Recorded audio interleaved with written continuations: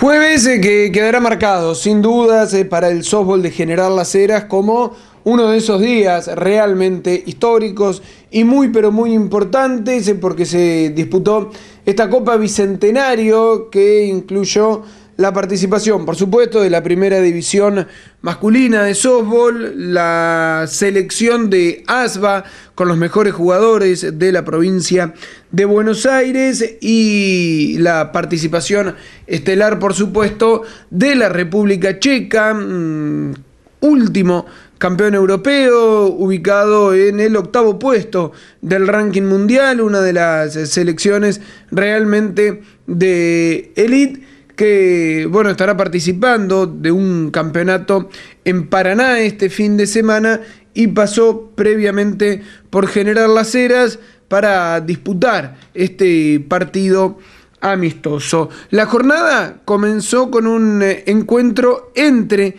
Las Heras y el seleccionado de Asba, un partidazo, muchos batazos, la verdad de un nivel muy pero muy alto, fue victoria ajustadísima para el seleccionado de Buenos Aires, luego se enfrentó precisamente este combinado de la asociación contra República Checa y fue victoria pero en extra inning para el conjunto europeo.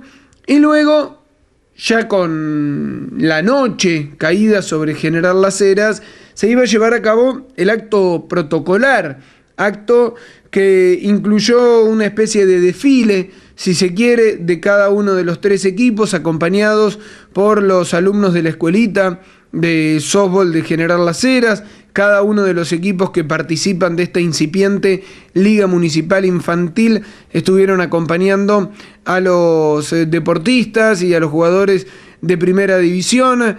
Muchos de ellos hicieron firmar sus gorras, no solo por los jugadores de República Checa, sino también por los herenses y por los chicos del combinado de, de ASBA. Allí se cantó el himno nacional de la República Checa, se hizo su bandera, lo mismo ocurrió con la Argentina.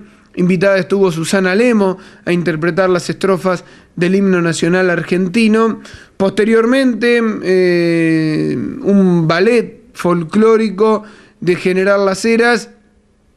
Interpretó dos o tres eh, temas, también como una manera de demostrar, si se quiere, algo de, de, nuestras tradiciones y de nuestras raíces a los europeos y posteriormente el intendente municipal, Javier Osuna, hizo uso de la palabra.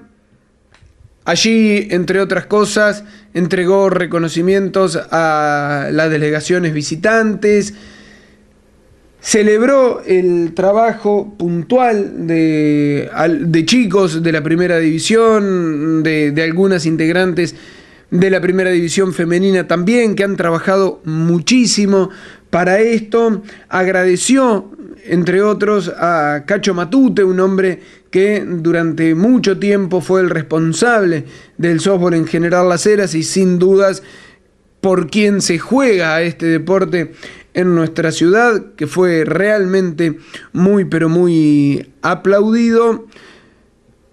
Y fue también el jefe comunal el encargado de dar el batazo inicial.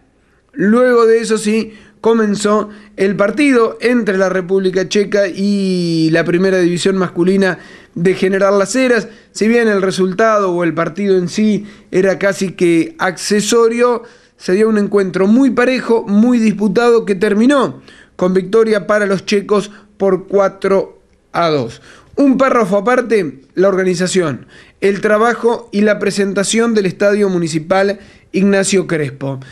Tanto los chicos de la primera división como las chicas de la primera división femenina y el cuerpo técnico trabajaron a destajo, a más no poder durante todos los días previos también el municipio aportó lo suyo, presentaron una cancha realmente espectacular, de nivel no solo nacional, sino también internacional, con una participación del público muy, pero muy alta. Estaba repleto el estadio. La tribuna colmadísima. Por otra parte, se colocaron sillas, quedaron cortas, gente parada. La verdad, una fiesta con todas las letras que vivió el softball de General Las Heras.